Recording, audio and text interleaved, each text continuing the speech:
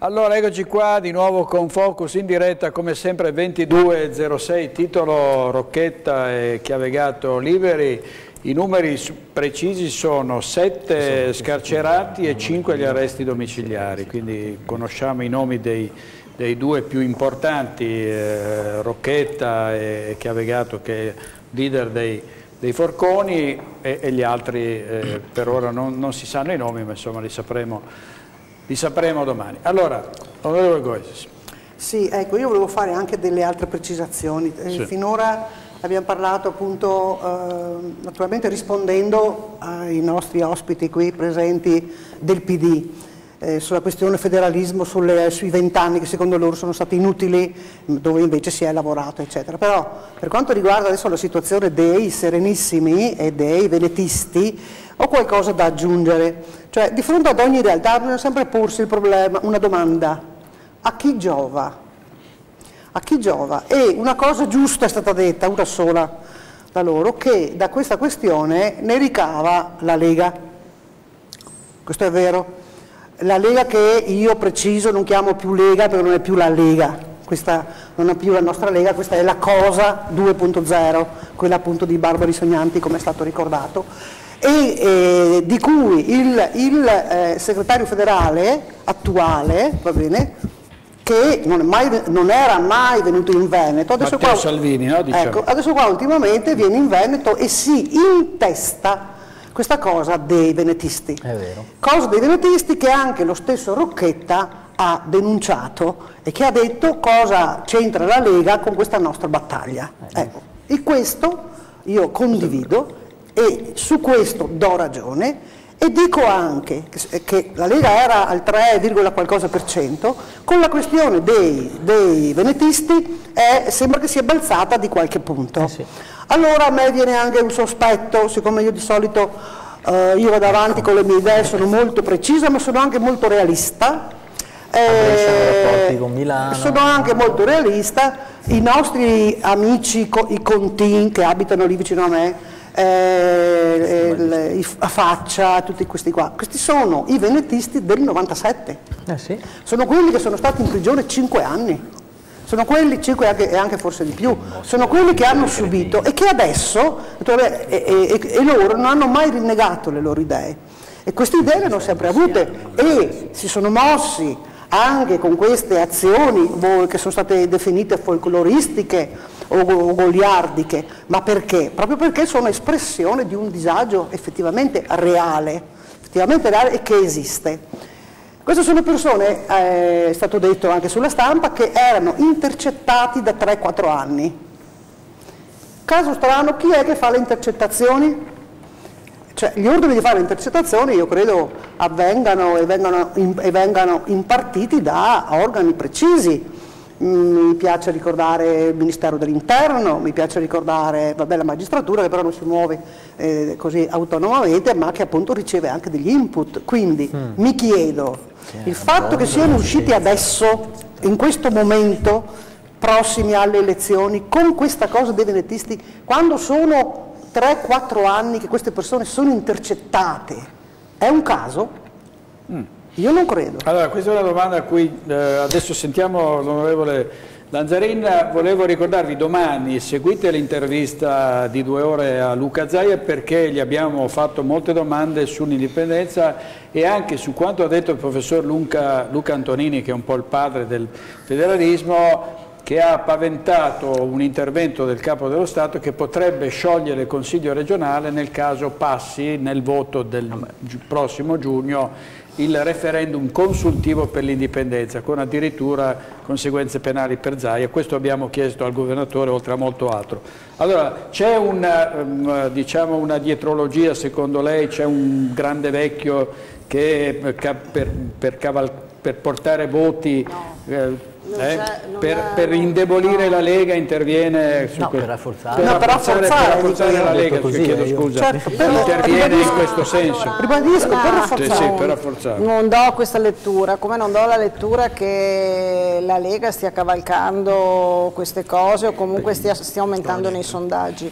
La Lega ultimamente stava aumentando nei sondaggi dopo le vicissitudini, lo sappiamo, le spaccature, le, le- le- ah, le diaspore interne, tutto quello che è successo, insomma, e, e la collega Gois sa, be- sa bene di cosa stiamo parlando, ma soprattutto eh, sta recuperando eh, da quando c'è eh, nuova, eh, un nuovo segretario federale Matteo Salvini, ma soprattutto da quando inizia- siamo, abbiamo- siamo ritornati a fare politica, a essere più presenti, a mm, prendere in mano quelle che sono le tematiche che sono sempre state le nostre, dal federalismo alle ingiustizie, all'immigrazione clandestina, a tutto il resto e soprattutto la campagna no euro, insomma mi sembra che, e su questo qua, eh, perché il sentore generale è quello effettivamente che la gente, insomma, questa Europa così come è concepita non piace, eh, molti dei problemi sono legati appunto a un'Europa di questo tipo e quindi anche il fronte e eh, il no euro tour che ha toccato anche Padova rispetto mi sembra a Treviso, non so se è già venuto eccetera, sicuramente è quello che eh, sta ci sta dando insomma, dei risultati e quindi anche un guadagno di voti, di percentuali in questo, in questo senso. Sul fatto che poi sia successa questa cosa qui dei venetisti e che la Lega si sia schierata, io dico bene, perché per il passato probabilmente sono stati fatti degli errori quando ci sono state delle divisioni, quando insomma si sono creati i mille partitini autonomisti e quindi se adesso c'è la volontà di cercare di raggruppare o comunque di, eh, perché il fine comune è unico, non, vede- non vedo cosa c'è di male. Mi dispiace che la collega pur, cioè non credo che la gente interessi sapere quindi le diatribe o comunque no, ma- chi ha deve levarsi qualche Senza- sassolino senza rispetto, rispetto a qualcos'altro. Cioè io credo che l'importante, Guarda che questa, questa l'importante lettura è stata fatta anche da altri. E Bene, io la la. Sì, sì, va bene, io lascio che la lettura la facciano chi deve Questa fare le letture, 10 non giorni fa era il 3,3 però cioè, non raccontare barzellette. Era No, il 3,3 stava crescendo 10 giorni già, stava crescendo no, già, sì, dai, delle, delle dai, 0,1 alla volta Non 0, è mamma una- lo sai eh, benissimo non, Eh, eh, sai, questa non è più la Lega, questa è la cosa 2.0. Ma, ma per te, Salvini, ma, ma no, per no, te è la cosa gente. 2.0. Anche per la gente. Per me è il partito con cui ho iniziato, con No, ho iniziato con la a fare Calabria, tutti gli accordi ho iniziato a fare politica, ho iniziato a fare politica con cui sto facendo politica. Eh. mafia. Ma stai scherzando? questo- Poi tu fai il tuo percorso, cioè, il percorso. ma Dico questo anche eh, quello che penso, ma, come- ma fai come bene, ho di- ma fai bene a dire quello che penso, Certo. però è una tua ti dice opinione, niente, è una tua ti dice opinione, niente di convivenza con l'andrangheta, Verona ti dice niente, il modello Verona che si sta sgretolando piano piano, È ti dice niente. Tosi Verona. era un astro nascente, ma se- adesso- È che adesso, aspetta, Speriamo adesso va a onestamente. cercare eh, il cappotto per ripararsi Ma dal freddo. È che lui voleva diventare il leader del centrodestra mondiale. dove? No, era, voleva diventare il leader del centrodestra mondiale, Ah, fare le scarpe anche a Zaia, tra l'altro. Certo. A parte questo piccolo, un piccolo particolare da Sappiamo gossip, ecco, vero, d'altro canto, anche vero. È vero, è vero. Si è messo a fare queste cene Tutti sanno a tutto, Crotone. tutti sanno tutto, no, tutti sanno tutto.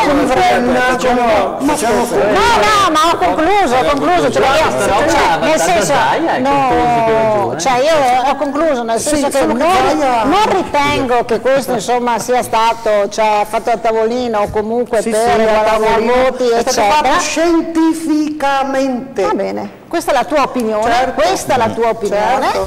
è l'opinione che tu ti senti di dire e io l'accetto, non c'è nessun problema. Vedremo, i risultati Di daranno, fatto, daranno, è vero o non è daranno- vero che fino a dieci giorni fa la Lega era al 3,3%? È vero? No, era Come già no? risalita un po', non Di quanto? ma- 0, ma no, è il 3,3%. Adesso eh, su cosa è attestata la Lega? Su, su cosa viene data? Adesso Sei? qualcuno Sul spara 5, sei, sul qualcuno spara 5, cinque, 5, qualcuno- 5, 2, poi 5, bisogna vedere 5. anche- con, con attesta- 5%. attestandosi la cosa dei venetisti e del referendum. però.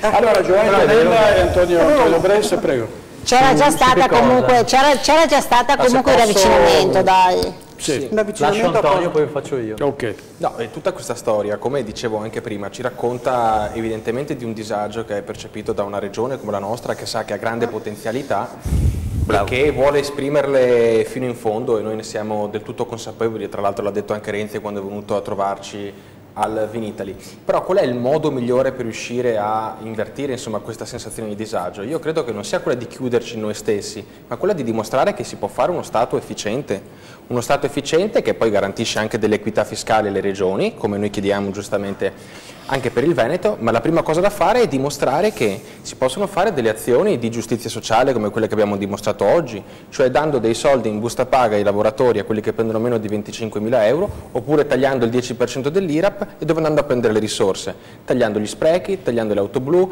diminuendo il numero di partecipate, Ah, diminuendo le F-35. risorse per le spese militari per gli F-35 e che io credo se continuiamo in questa direzione, cioè dimostrando che la buona politica, la bella politica si può fare e si può migliorare il Paese e il sistema Italia, credo che anche la sensazione di disagio di chi vive in Veneto ed è contro in Roma possa, possa in qualche modo scemare o venir meno. Perché? Perché la risposta è proprio questa da dare, dimostrare che si può cambiare e questo è quello che sta facendo Matteo Renzi e credo che insomma, tutte le forze politiche si debbano in questo momento interrogare con responsabilità in che modo possono contribuire alla ripartenza del Paese perché poi agganciando anche del tutto la ripresa e anche con maggiore capacità di spesa economica anche questi temi, vedrete, saranno temi che saranno trattati sempre meno e il Veneto si renderà conto che inserito nel sistema Italia, inserito nel sistema Europa, può agganciarsi a questo volano di crescita. Faccio un esempio, il prossimo anno ci sarà l'Expo 2015 a Milano, ma vogliamo immaginarci un Veneto indipendente fuori dall'Italia come potrebbe godere di un evento di livello internazionale così importante che è un traino per l'economia? Non lo farebbe, quindi è evidente che dobbiamo sistemare le cose che non vanno, ci stiamo impegnando tutti i giorni per farlo, rimanendo nel sistema paese che è quello che ci può insomma, dare eh, il giusto traino per sviluppare tutte le potenzialità che la nostra regione ha e che alla nostra regione noi gli riconosciamo in pieno. Però no. Allora, eh, se vuol- dice- No, no, non è che, per carità, benissimo, iniziamo, speriamo che siano operazioni concrete, tangibili, speriamo, ci auguriamo tutti perché... Beh, il decreto legge è già domani in Gazzetta Ufficiale, Quindi, quindi- vedremo appunto se si troveranno gli 80 euro in busta paga, vedremo tutto, que- tutto il resto, insomma. Però non è che con gli 80 euro in busta paga in più ai retti sotto il 25 i 25 mila euro risolviamo il problema dei piccoli imprenditori che, c'è soprattutto qui nel Veneto. No, però abbiamo sbloccato i debiti della pubblica amministrazione, abbiamo tagliato soprattutto l'IRAP. qui nel Veneto, cioè non è, quindi c'è un'attenzione particolare probabilmente eh, dovrebbe essere posta al Veneto visto che non è stata posta in tutti questi anni. Ecco, quindi bravo. probabilmente, probabilmente se Renzi Bravo. oltre a fare i tour vinitri di qua e di là, insomma promettere eccetera, Renzi piace moltissimo anche a molti elettori vostri che onestamente dopo anni di cominciano a dire vogliamo Ma qualcosa. però vogliono le cose concrete, Eh, infatti, vogliono le infatti. cose concrete, Esatto, Cioè, le vogliono cose le concrete, sì. vogliono le cose concrete. le cose facendo. concrete No, stanno per esempio, arrivando. posso per esempio vendere le macchine blu. Eh. Peccato che ne ha vendute quante? 120, 150? sono tante. Ma ne compra 250 Questo non è vero, questo No, non è vero, questo non è vero. è verissimo. No, mi dispiace che la È verissimo. cadi, cadi No, nel, no, nel trabocchetto in cui hanno cercato No, il movimento, nessun quelli del Movimento trabocchetto. 5 Stelle di farci No, cadere. Perché allora si è raccontata questa storia, però anche per raggiungere No, no, degli no. elementi di chiarezza forse è bene insomma, dedicarci un minuto. Mm. Allora abbiamo deciso di vendere 150 auto blu su internet e subito il. Movimento 5 Stelle dice eh però Renzi ne sta comprando altre 200. No? Subito anch'io mi sono andato a interessare perché ho detto no, no, non può essere possibile. Allora cosa emerge? Emerge che in realtà ancora il governo Letta aveva dato mandato alla Consip, che è insomma l'ente che fa gli acquisti a livello centrale, di vedere quale sarebbe stato il prezzo per un possibile acquisto di auto blindate per le forze dell'ordine. E quindi hanno fissato il prezzo di 200 auto blu per le forze dell'ordine, che non vuol dire che sono acquistate, che se però lo Stato esercita il diritto di acquistare, le paga al prezzo fissato dalla Consip. Quindi non c'è nessun acquisto di auto blu e per di più non è stato fatto dal governo Renzi, è solo una possibilità di acquisto. troppo dietro i- Non dobbiamo cadere nella, nella- nella propaganda sono più bella, valori, perché poi, perché poi? certo, quando si vanno a vedere le cose come stanno in realtà si capisce chi racconta chiacchiere e chi invece si basa su dati concreti. Vedrai, vedrai. Dopo tante parole almeno qualche auto blu è stata... Allora, vecchie però. intanto in furia, Certo, in furia ma voi la dove campagna riuscite a elettorale vendere delle le elezioni europee, ovviamente è partita anche parte quella delle amministrative, saranno depositate le liste tra pochissime ore. Vediamo la situazione a Padova per quanto riguarda la Lega, il centrodestra punta come unico candidato, come sapete, Bitonci con uh, l'appoggio del, del, forzista Nicola Lodi che diventerebbe vice, uh, vice sindaco. Vediamo, vediamo il servizio tema della sicurezza è la prima uscita che facciamo pubblica eh, questa coalizione la vera coalizione centrodestra. Prima uscita pubblica della coalizione che sostiene il candidato sindaco della Lega Nord Massimo Bitonci. Il tema è il cavallo di battaglia che unisce anche Forza Italia e Fratelli d'Italia, la sicurezza. Puliremo la città dagli accattoni, eh, dagli zingari che girano questa città, dai delinquenti. Eh, in collaborazione con le forze dell'ordine combatteremo spaccio, prostituzione. Noi vogliamo che sia ancora così, che non sia il paesello che si sta spopolando perché la gente se ne va, non vive più bene qui. Ho sentito una signora adesso, prima, diceva sto facendo il trasloco perché non mi sento più sicura in questa città. Ho detto signora aspetti un attimo a fare il trasloco perché sta arrivando Bitonci. Proposte shock le ha definite Bitonci, dal punto sicurezza nei quartieri all'incremento delle telecamere. Il primo atto, se verrà eletto sindaco, dice un nuovo regolamento di polizia urbana ed ordinanze ad hoc contro il degrado. È una situazione ormai fuori controllo io abito per esempio in una zona abbastanza disagiata, abbastanza per dire poco che è la zona della stazione. I miei figli escono di casa e ogni volta che eh, devono rientrare io resto col patema d'animo, mi sembra che non sia una condizione vivibile per una città civile. Bitonci potrebbe tenere per sé la delega alla sicurezza, non ne fa mistero, ma intanto da Fratelli d'Italia arriva la proposta di collaborazione dall'ex assessore regionale alla sicurezza Zanon. La consulenza te la darò gratuitamente Bene. e la darò a un uomo, e la darò a un uomo di centrodestra. Allora, servizio di Valentina Visentin. Allora, Paolo Gosi, come, come, la vede su Padova? Insomma, Bitonci può spuntarla? Per me no. Eh? Non ce la fa? Eh, non è questione di sassolini nelle scarpe o di cose del genere. Chiaramente noi di Prima Veneto siamo stati forse tra i primi che abbiamo deciso di appoggiare Saia. Saia perché eh, lo conosco, l'ho conosciuto sì, anche quando era a Roma, che era eh, prima deputato, poi senatore, poi, insomma, e che ha sempre seguito l'argomento della sicurezza insomma, e che ha eh, così, dei programmi ben chiari ben, insomma, ed è conosciuto a Padova, è conosciuto da, da tutte le forze dell'ordine. Insomma, Cosa ne pensa del fatto che siano entrati anche De Poli, l'UDC, NCD, UDC, insomma, no? Ecco, infatti, infatti stavo dicendo, non siamo stati fra i primi, e perché siamo entrati?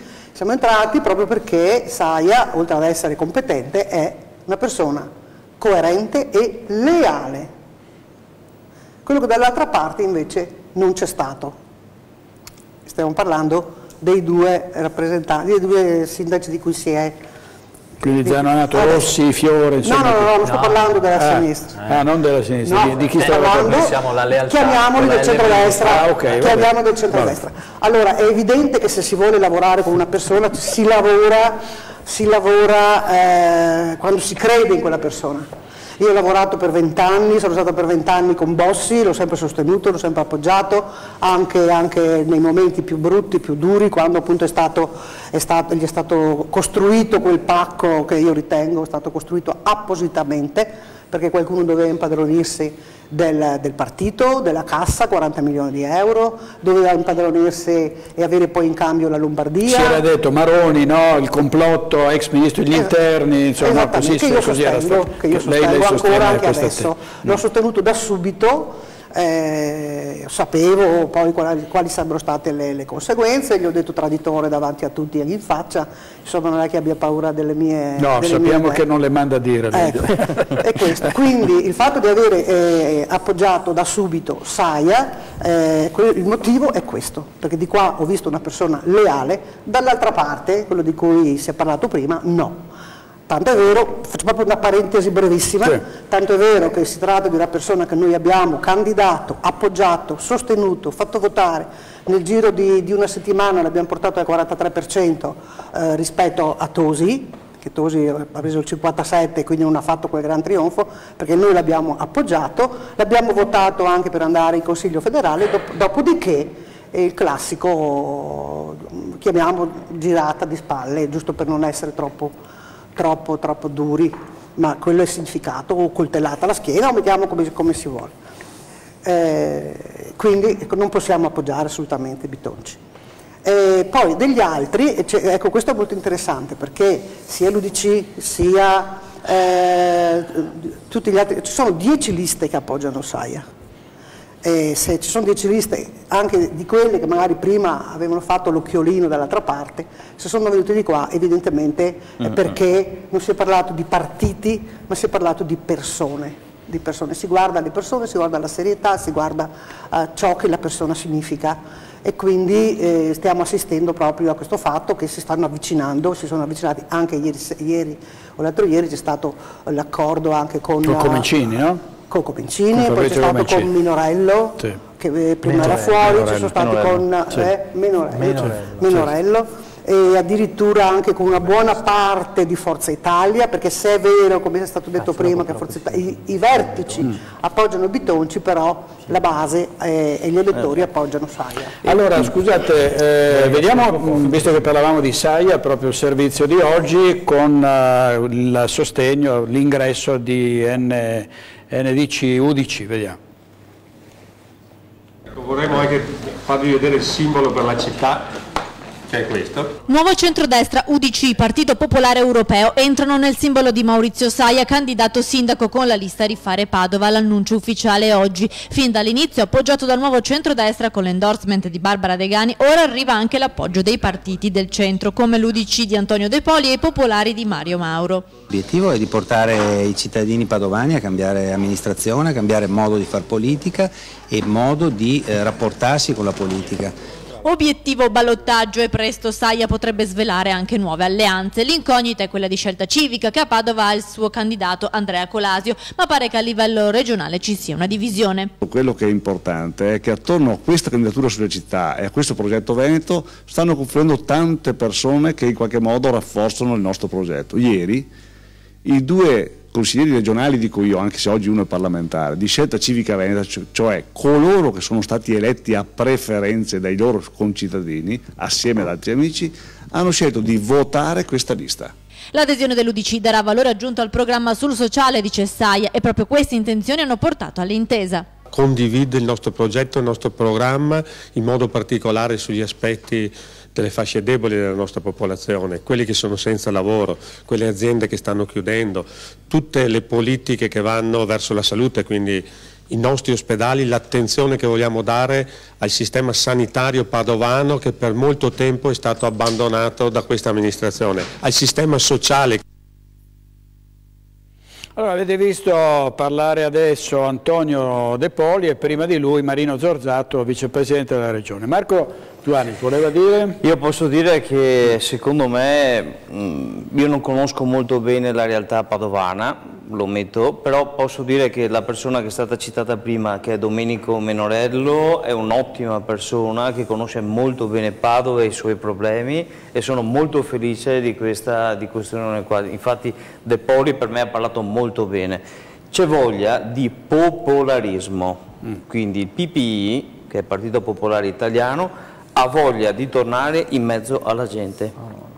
I politici oggigiorno si dimenticano sempre di stare in mezzo alla gente e questa secondo me è una cosa invece che deve una deve tornare praticamente. I politici devono andare in strada e capire davvero i problemi delle varie città, che può essere Padova, che può essere Venezia, che può essere Vicenza, Verona, Milano, Roma, qualsiasi città, però i politici devono comprendere, annusare l'odore della strada e capire quali sono i problemi per poter intervenire. Io penso che questo sia un simbolo vincente.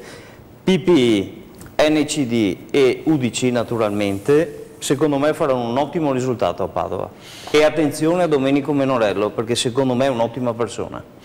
Allora, Colonnello Bortoletti, ieri sera in questo studio c'era l'onorevole Sergio Berlatto, che è stato parlamentare europeo per tre legislature, che ieri era protagonista della serata perché Forza Italia non l'ha candidato. Lui si aspettava, poi a- a- alla fine ha capito che c'era qualcosa che non andava, è passato a Fratelli d'Italia, Ah, si ecco. candida con Fratelli d'Italia, però la domanda è questa. Sosteneva Berlato che è stato vittima di due... se, se Forza Italia l'avesse candidato non sarebbe passato con Fratelli d'Italia. Sì. Arguisco. Beh, diciamo. certo, no, no, beh, certo. Eh, questo è l'esempio del politico perfetto. proprio. Sì, sì, no, ma lui lo ha anche detto ieri sera, si è candidato in, in Fratelli d'Italia perché si è sentito tradito dall'ex ministro Vittoria Brambilla e la deriva animalista, Mamma no? mia, ha detto che sono vittima di Dudu e poi dal fatto, dal fatto che, Che eh, è considerato molto male da Galan, dalla Sartori, dal vertice di Forza Italia perché è stato lui a presentare in procura varie denunce contro il malaffare no? e dice questo mi è costato, quindi una domanda molto pertinente per lei che col malaffare ha avuto, ha avuto a che fare a lungo, no? sanando la situazione dell'ASL uno che è in Forza. Italia e, e- e combatte contro il malaffare. punto, no? Mi sembra un, Sì, siamo mi sembra uno a combattere in casa. eh, Uno che in Forza Italia combatte il malaffare. Tra l'altro, a proposito di Malaffare, visto che dal 2000, 2001, 2002 insegno più università, sociologia della devianza e analisi dei fenomeni criminali, ehm, ho poco da aggiungere alla situazione del- dell'onorevole Berlato, se non per, per questo che mh, penso che lui farà la sua corsa, a parte commentare una persona che non c'è, a me non piace, non penso che sia opportuno. E dico solo questo, che ognuno farà la sua corsa in questo collegio. L'idea con Giorgia Meloni, con, cui, con la quale io scrivo e collaboro in Officina per l'Italia da qualche tempo come tecnico esterno, proprio perché, ripeto, ormai ho scritto libri su questa materia e insegno da tempo, è proprio invece quella di eh, puntare su questa, su- leggere il territorio e puntare su questa situazione veramente di estrema difficoltà che si percepisce eh, nella quotidianità di questa regione che invece potrebbe dare molto e da cui tutti siamo d'accordo, eh, se riparte l'Italia riparte perché il vento prima di tutto riparte. E proprio le diseguaglianze, tra l'altro proprio recentemente Christine Lagarde, che è la Presidente del Fondo Monetario Internazionale, ha detto che sono il principale problema oggi più che ripresa, crisi, spread o da altri temi che sono affastellati in questi anni sulle pagine di tutti i quotidiani nelle varie analisi degli addetti ai lavori. E le diseguaglianze sono quelle che emergevano tra l'altro prima da questi, eh, da questi, da questi ri- da questi filmati che avete mandato, dal dibattito anche qui in studio. L'unico modo per eh, uscire, dal, per lavorare su queste diseguaglianze è appunto quello di ritrovare un'equità condivisa, cioè un- una proposta che possa di nuovo essere credibile, possa di nuovo eh, costituire un saldo punto d'ancoraggio eh, per i cittadini di questa regione principalmente. E faccio un esempio banale, proprio concreto, eh, che è quello dell'equità, secondo me, che è la principale eh, assente in questo dibattito, perché quando si percepisce che una cosa è equa, si può pensare che sia giusta o ingiusta, ma di fatto l'equità oggettiva fa sì che poi la si può criticare per una posizione politica, si può dire che non si è d'accordo, si può dire che si poteva fare meglio, però l'equità è quella che alla fine ci unisce su una proposta unica. E porto l'esempio, non è possibile che nel 2000, e, un esempio in campo sanitario, non è possibile che nel 2014 ancora ci siano ragazze, come io ho avuto modo di conoscere qui in Veneto, che soffrono di una malattia rara e che si devono pagare loro la ricerca, perché non c'è nessuno che Bravo. riesca a tirare fuori in 112 miliardi di euro di spesa sanitaria, eh, nonostante proposte ne siano state fatte, ce n'è una molto bella, non perché abbia partecipato, di Action Institute, che è una cosa nata tra i principali studiosi della materia a livello internazionale, consultabile sul sito, dove a 5 anni c'è una proposta per ridurre della spesa sanitaria lo stock di 15 miliardi di euro, senza togliere nulla a nessuno ovviamente, solo chiudendo e eh, pulendo gli sprechi, come si dice tecnicamente, insomma, facendo, eh, togliendo le, le- punte, quelle che non ci devono stare. E questa ragazza si deve pagare, per questa, soffre di questa malattia stranissima, che è la tassia di Friedrich, si deve pagare lei eh, le, le spese della ricerca e questi poveri genitori si devono dare da fare con decine di manifestazioni e invenzioni varie per trovare i soldi per riuscire insomma, a far proseguire la ricerca su una, su una- su una cosa che non interessa a nessuno perché? Perché di fatto non rende, perché i clienti, i pazienti sono talmente pochi che alla fine eh, nessuno spende, nessuno investe per una cosa di questo tipo. Ecco, io penso che questo sia un esempio chiaro di cosa sono queste diseguaglianze e di cosa sarebbe una ricerca di un'equità condivisa, cioè trovare un, eh, un modo di guardare al futuro più che continuare a fare analisi del passato che magari punti a dire iniziamo a togliere a livello europeo tutti gli sprechi che continuiamo a parlare. Ad esempio io vi chiedo sempre cosa ci fanno 33 dipendenti dell'Unione Europea alle isole Figi. È interessante. Oppure 44 a Mauritius, oppure perché abbiamo speso 180.000 euro, mi pare, vado a memoria, 180.000 o 130.000, adesso non mi ricordo, per partecipare al rally delle auto elettriche in una bellissima isoletta dei Caraibi, come rendicontato ovviamente sulla pagina dell'Unione Europea, della delegazione che sta ai Caraibi, dove ci sono impiegate 44-47 persone. E così via, potremmo anche pensare a chiederci perché i ballerini belgi devono andare in, in Burkina Faso, non vorrei ricordare male sempre, a insegnare la danza ai, eh, alla popolazione africana, oppure come mai l'Unione Europea ha speso 8,8 milioni di euro per creare un centro per la creazione di posti di lavoro per facilitare l'inserimento degli abitanti del Mali in Europa e dopo tre anni gli abitanti che sono stati aiutati in questo sono sei per un costo pro capite di 1,445 milioni di euro. Allora io potrei andare avanti a narrare tutto quello che c'è da fare in Europa. Io penso che la spending review sia questa, penso che il, eh, si potesse fare molto. Io sono stato invitato dal Ministro Giarda eh, nella primavera del 2012 che ha voluto capire esattamente cosa stavamo facendo a Salerno, cioè abbiamo, ho parlato varie, varie, volte con il Ministro, eh, parte di quella storia è dentro il rapporto Giarda che ha chiuso eh, l'esperienza poi nel 2013 e da cui poi è ripartito il commissario Cottarelli, Penso che questo sia il tema su cui lavorare, perché da lì vengono fuori risorse appunto per lavorare per riportare equità. A questo punto è vero che da una parte magari qualche regione d'Italia, ovviamente si sa, il PIL è più alto rispetto ad altre regioni d'Italia, ma troveremo tutti una sintesi e un equilibrio che consenta a tutti di trovarsi insieme e uniti all'interno di questo Paese.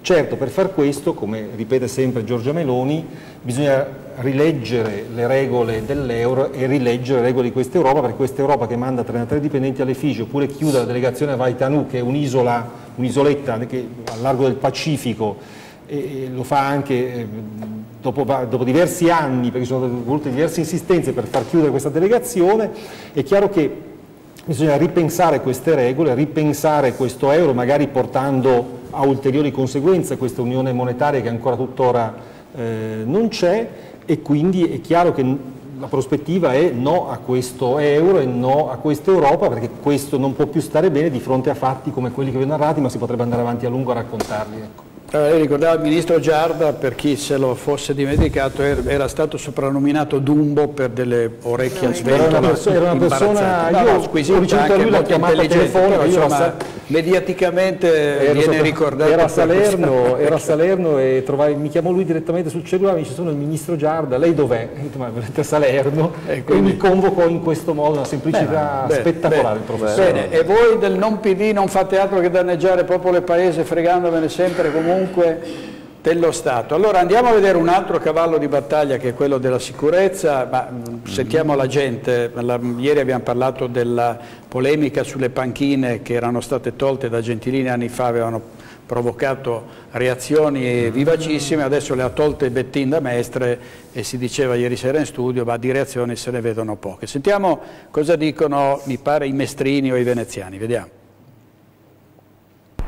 Tamponato lievemente con l'auto il veicolo di un 67enne mestrino in via Cappuccina e per un 54enne chioggiotto è iniziato l'incubo. L'altro automobilista è sceso con una spranga di ferro per colpirlo alla testa. A quel punto la moglie che era in auto terrorizzata ha chiamato la polizia.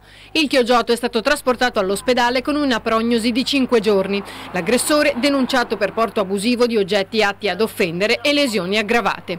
Ma resta aperta la questione della mancanza di sicurezza in città che i cittadini avvertono sempre di più e la paura cresce. Sarebbe ora di smetterla con questi episodi, mettere un altro là tutto quanto, perché qua siamo di andare sempre peggio. Molte persone si cercano certe violenze con certi atteggiamenti e poi penso che però bisogna rafforzare la sicurezza. La sera quando mi muovo ho paura.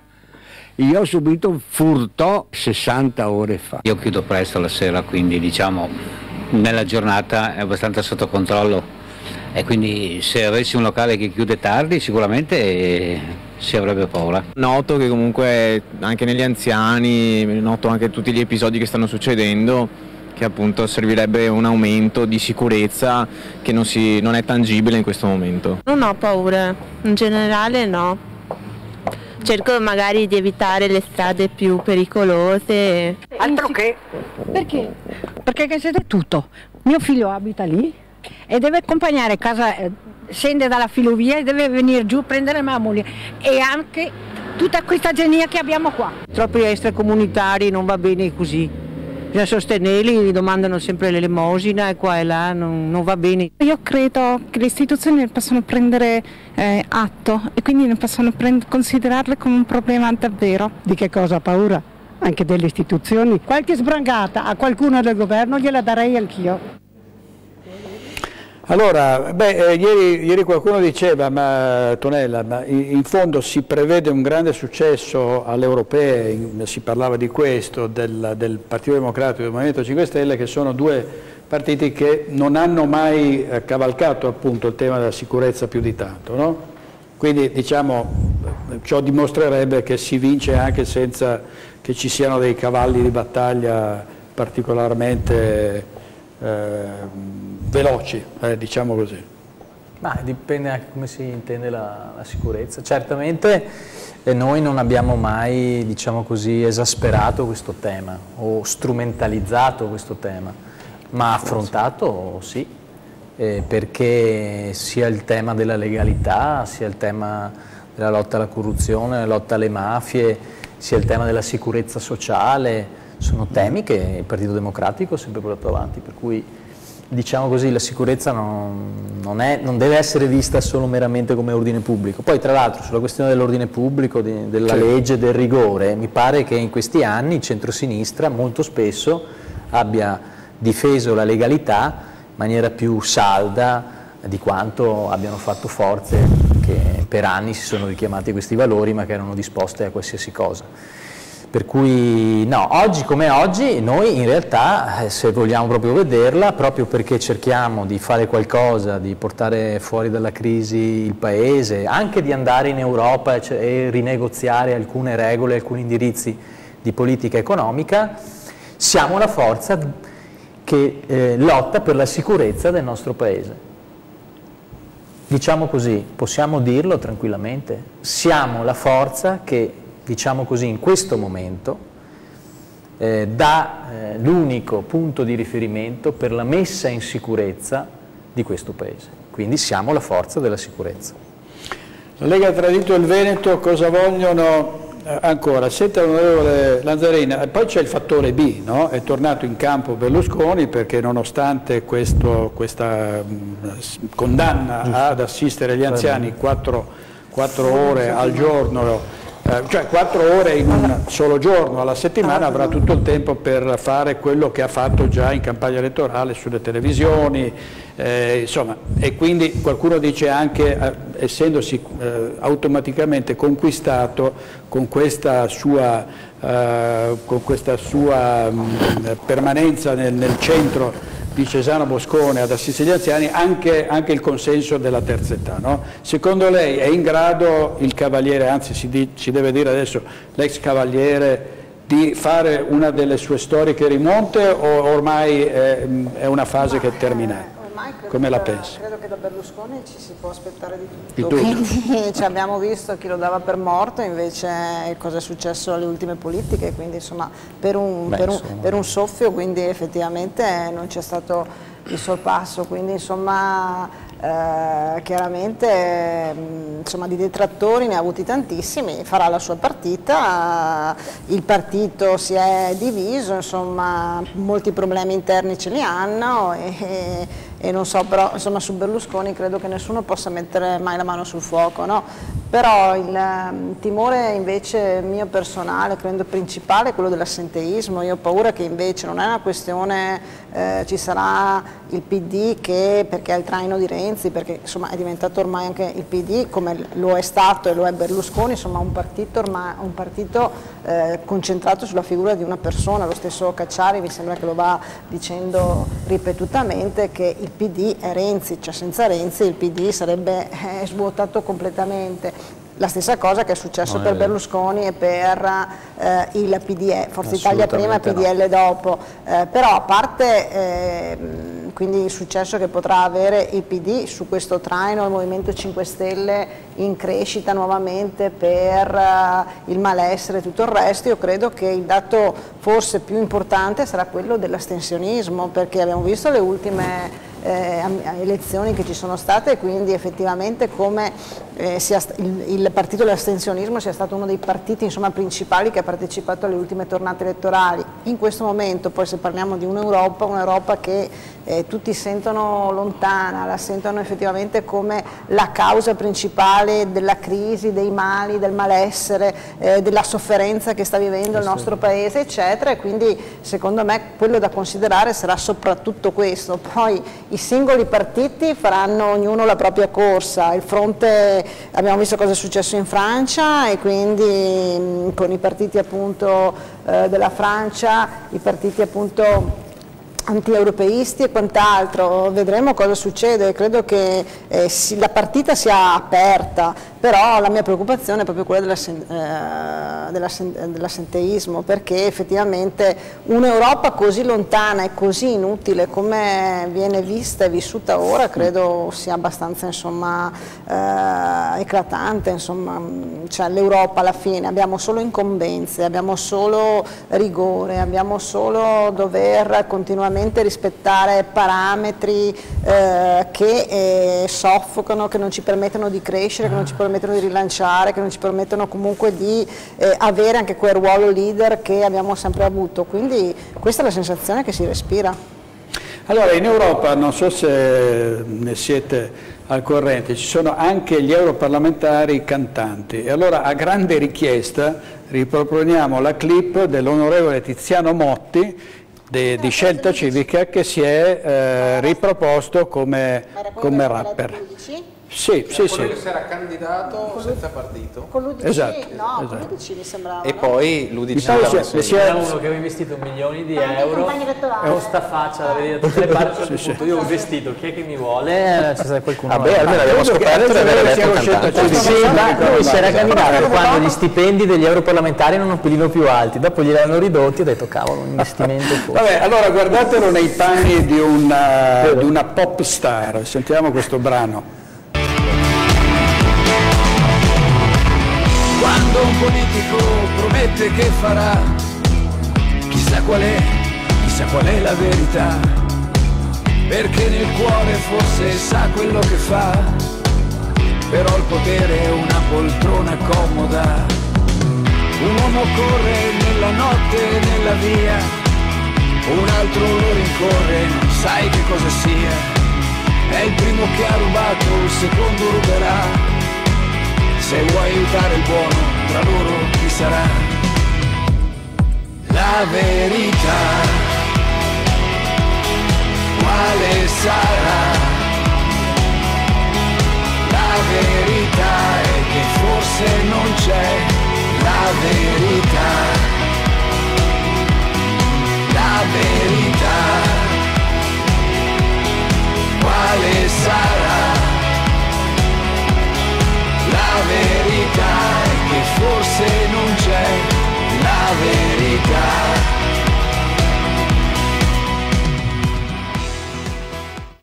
Allora, eh, voi non avete idea di cosa ha detto l'onorevole europarlamentare Andrea Zanoni quando avevamo dato, mandato in onda questo, e avevamo al telefono Moti e si sono vicendevolmente eh, insultati, beh, per modo di dire insultati, insomma Zanoni diceva ma pensi a, a, fare, a, a, stare in aula e a fare delle proposte di legge piuttosto che andare in giro a fare il cantante, no? Come ah, la pensa Giovanni? Zuanic la pensa che persone, persone così veramente sono un'offesa alla politica, perché la politica si fa, come dicevo prima, in strada per aiutare la gente e non certamente per diventare DVD Hollywood o presunti tali, insomma. È vergognoso, direi che è un atteggiamento vergognoso. Ma l'ha candidato il tuo partito? Certo, e io me ne vergogno. Sì, okay? sì, quindi io sono, Però sono riconosco proprio... l'onestà intellettuale, certo. Esatto, esatto, persone del genere che sono state, sono, sono state presentate da persone, mm. perché ovviamente si viene votati da persone, che cinque, per, per, per tutto il suo mm. percorso politico europeo, Non non, si è mai fatto vedere. Non, non lo chiamavi al telefono? Mai fatto vedere, no, ma neanche non voglio conoscerlo, cioè Eh, proprio non... dovevi chiamarlo, non mi ti interessa. rispondeva rispetto, rispetto la le tue prova, se eh. vuoi chiamarlo tu, guarda, il o numero. se vuoi imparare qualcosa da lui, fai cantante No, anche tu. il numero. E allora lasciami parlare perché non ti ho mai interrotto, quindi mi raccomando. Era per ecco. ridere su Motti insieme. Quello, quello che voglio dire io è questo, che questi non sono sicuramente politici che vengono rappresentati da noi.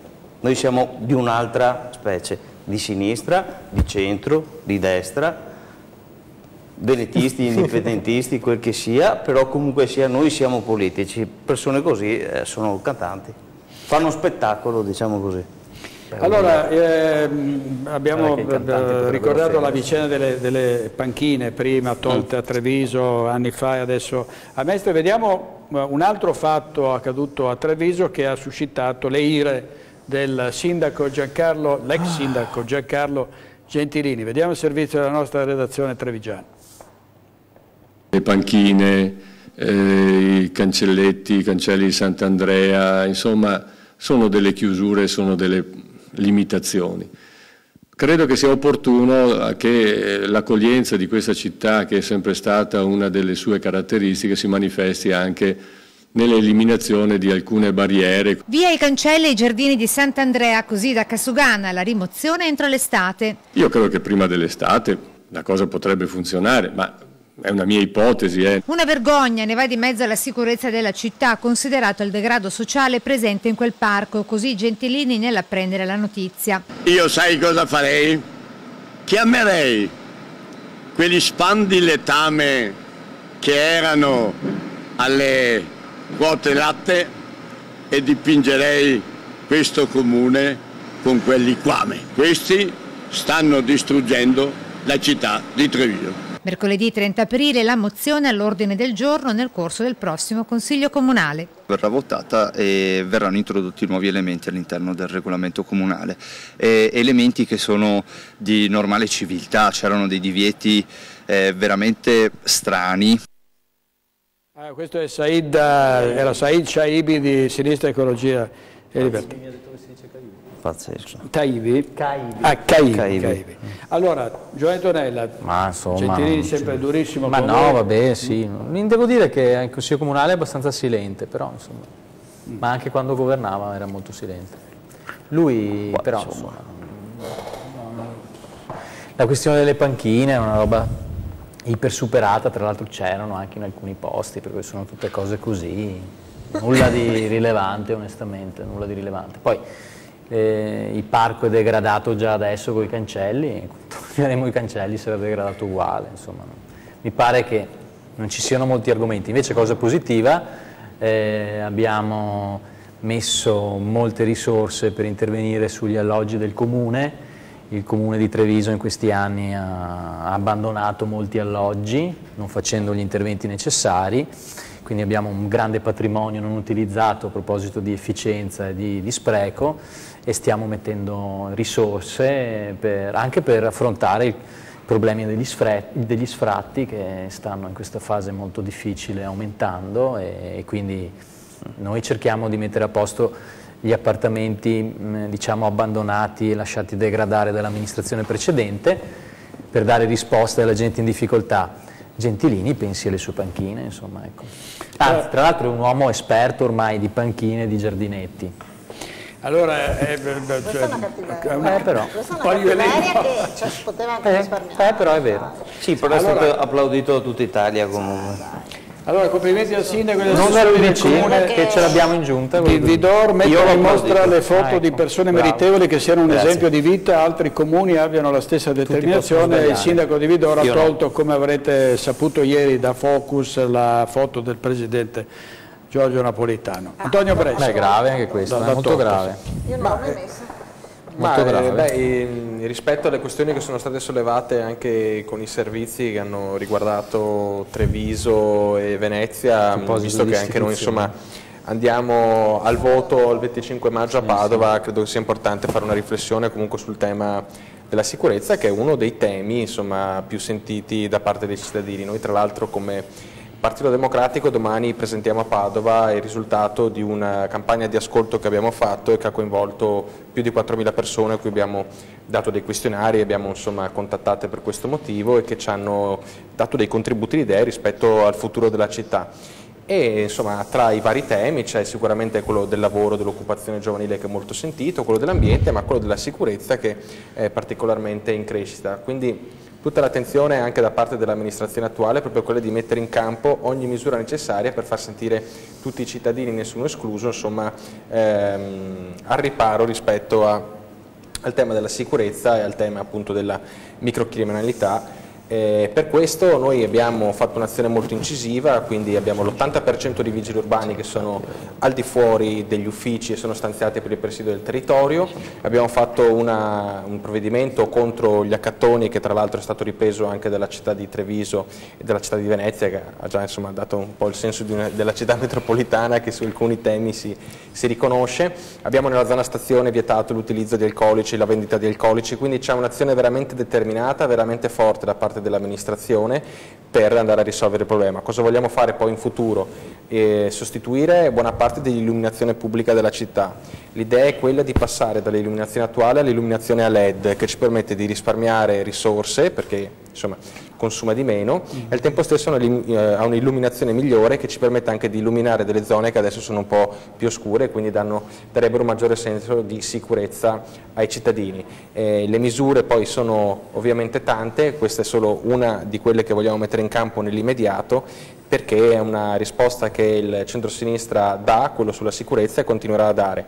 Eh, voglio ricordare che anche il um, sindaco di New York Bill de Blasio, che è un esponente del Partito Democratico, eh, ha sempre detto che la disciplina e l'ordine pubblico sono valori di sinistra e credo che anche in Italia, anche a Padova, lo stiamo dimostrando con i fatti e con la concretezza.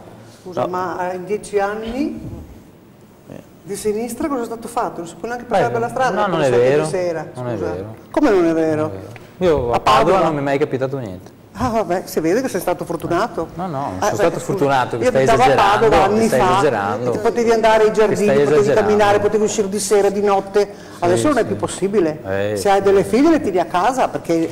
non, sei, sono, non solo fresca, scusa, solo fresca di stamattina va bene? Piazza della, frut della frutta, all'angolo di Piazza della Frutta, Ma... tu ti vuoi comprare là con tutte le merci per stese per terra. Ma ora che a Padova si è eh, sempre eh, fatto stanga, una grande dice azione. La stanga? Non vi dice niente la stanga. Mi, mi ricordo la Prato della Valle, sì. prima di Zanonato era veramente esatto. un posto, Vabbè, io, Zanonato è arrivato ricordo, a Padova, ricordo, Padova veramente... La zona stanga, c'è tutta la zona là dove c'erano, com'è che si chiamava, la, via Anelli, tutta quella... Padova, via Anelli, possibile. Altro, altro, altro esempio che Galan, persino Galan, si è permesso di criticare l'azione che abbiamo fatto su Via Anelli. Sì, gli appartamenti di, di, Via Anelli sono tutti là abbandonati, eh, cioè, sono tutti là, c'era gente che dentro 20 in 30 lungo le scale, abbiamo agito. Avete agito? Cosa avete certo, agito? È diventato un mortorio, è diventato un cimitero. C'era una situazione insopportabile. Ti piaceva come era prima invece? C'era una situazione come era prima? No, come era prima, si risolveva in modo diverso, non ah, facendo il muro là che ah, è diventato ecco. famoso allora, a New York intanto noi parliamo dite? E adesso dai, avete la sicurezza come ah, primo ecco. argomento come primo problema ma non vi crede mica nessuno no, eh. non solo ci sono tanti altri voi fate la campagna solo sulla sicurezza. Non solo sulla sicurezza perché volete, volete fare campagna solo ed esclusivamente giocando? per favore solo ed esclusivamente giocando sulle paure delle persone noi sappiamo che il problema della sicurezza è un certo problema sentito come altri. Certo Risolviamo quello, ma parliamo con fiducia al futuro della città. Non ah, vogliamo solo parlare alla pancia, instillando la paura alle persone. Instillando la paura alle persone. Questa è la differenza, è la differenza di impostazione culturale che abbiamo tra noi e voi. Ah, io credo che chi vuole chi vuole una Padova orientata al futuro sceglierà per chi risolve il problema della sicurezza, ma parla di economia, parla di lavoro, parla di ambiente, eh, parla di futuro per i giovani in una dimensione organica, non di chi solo sa parlare alla pancia delle persone per stilare la paura. Senza strumentalizzare. Abbiate rispetto, abbiate rispetto. No, perché così come parlate adesso della sicurezza, stessa cosa del lavoro. Quale lavoro? Tutte le industrie ferme, chiuse, quante sono? Addirittura voglio dire anche di più, che c'è perfino ho saputo che c'è eh, un, eh, una società veneta, non so se sia regionale o di cosa, che, eh, aspetta, che eh, si chiama Finest, va bene, che paga, attenzione, Ma se è regionale devi parlare a qualcun sì, altro. sì, ma eh. parla, infatti sto parlando anche a qualcun Ah, altro, ecco, che parla di, eh, di dare i soldi per gli imprenditori che vanno a delocalizzare. Mm. Allora, questi qua ricevono i soldi per andare via da, da Veneto e lasciano i veneti senza lavoro. Senza- vabbè, que- questo è un problema grave. Allora, dove abbiamo il problema della- de- del lavoro, il problema di tutti coloro che sono giovani, disoccupati, Mm. esodati, quelli che hanno 50 anni non sanno più cosa fare. Cioè, E qual è la sono- proposta di sul Allora? Su questo di sai vedrai che adesso te la dice. Allora, Giovanni, Eh, le dobbiamo dice chiudere io alle- sono alle la 23, prego. Io- io- Io ho due, due piccole cose da dire, non conosco la realtà di Padova quindi non posso parlarne, loro sicuramente sì, però posso dire che comunque il PD veneziano in, in realtà invece ha permesso la mendacità a Venezia, questo è un dato di fatto, perché noi volevamo che assolutamente fosse, cioè fare l'elemosina è una cosa bellissima se fatta nel cuore, ma quando invece si vanno a riempire le tasche di quell'industria che io chiamo della povertà, a scapito delle persone che credono in quello che fanno, questo non va bene. E Venezia è veramente piena, non so Padova, ma, se- è piena di ma persone. guarda Scusa, che- scusa un attimo, è solo un inciso. so- solo Anche Soglia io ha fatto la stessa norma anti-racket, anti-accattonaggio che, Eh, che cioè, abbiamo noi fatto a Padova. ci eh. stiamo impegnando Beh, contro il anche- vi, posso dire, vi posso dire che la mendacità è stata permessa dal PD. Eh sì, Ah, ecco, eh, sì, mi sembra- Allora, mi sembra una ricostruzione grazie al tempo che trovo sì. Se vieni, ti invito, se vieni a Venezia a farti un giro con me, d'accordo, io ti faccio vedere cosa succede in città. Va bene, ne parliamo anche nei nostri telegiornali. Scusate, grazie tante. Ecco, esatto, no, l'ho citato prima, era l'ultimo sms, intanto domani aumentano i prezzi dei, dei carburanti. Grazie a tutti, eh, chiudiamo qui la nostra settimana con Focus. Vi ricordo domani sera l'intervista a Luca Zaia alle 21.05, titolo Giù le mani dal Veneto, così dice Zaia e parlo ovviamente di tante altre cose. Grazie ai nostri ospiti, grazie a voi, buona Pasqua, faremo gli auguri anche domani ovviamente, però buona Pasqua anche da, da tutti noi di questa puntata di Focus. Buonanotte, arrivederci, arrivederci. Ha tamponato lievemente con la... Cos'era?